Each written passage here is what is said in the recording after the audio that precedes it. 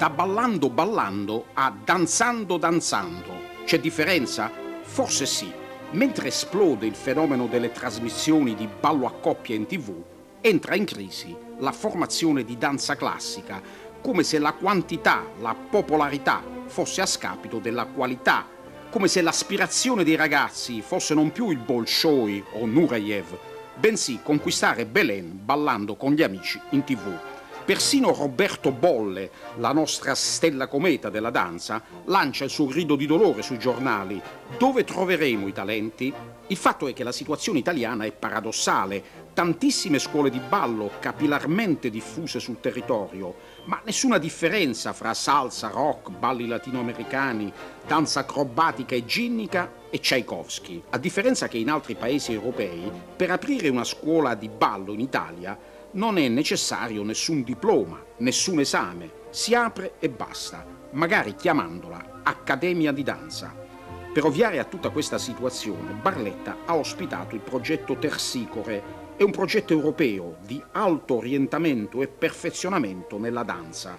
A Barletta al Teatro Curci sono stati esaminati 55 giovani, ragazzi e ragazze, dai 10 ai 24 anni, provenienti da Puglia e Campania, per avviarne qualcuno a grandi scuole europee, a Basilea, Svizzera, Anversa e Laia, Olanda, ma il primo nella selezione potrebbe vincere non una partecipazione in tv, ma addirittura la borsa di studio di un anno all'Accademia di Danza di Monte Carlo. Lì ha studiato Mauro De Candia, coreografo e primo ballerino, che è nato a Barletta e si è affermato in Germania, attualmente vive a Berlino e dirige il prestigioso corpo di danza di Hosbruck in Bassa Sassonia. Lui è il referente in Italia del progetto Tersicore. Come si fa a capire se un ragazzino, una ragazzina ha del talento per la danza? Beh, è un po' una domanda da un milione di dollari questa.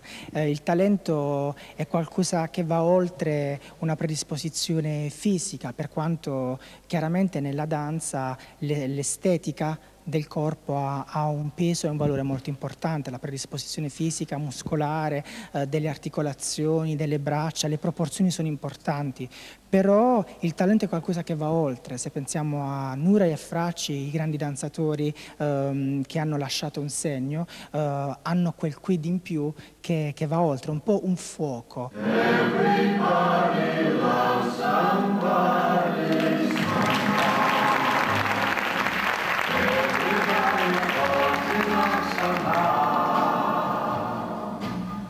Nei giorni della selezione, De Candia ha presentato sul palcoscenico del Teatro Curci, in prima nazionale, il suo ultimo balletto, Barba Blu, un castello di reliquie d'amore, è il titolo. Una sua coreografia di cui è anche protagonista, partendo dalla nota favola, una esplorazione sulle punte dei rapporti di coppia fra immaginario e anche umorismo, la danza classica moderna nelle sue più alte forme di espressione e spettacolarità, con un cast internazionale di giovani superbi ballerini, emozioni pure e i ragazzi che attendevano i responsi e le convocazioni del progetto Tersicore già sognavano.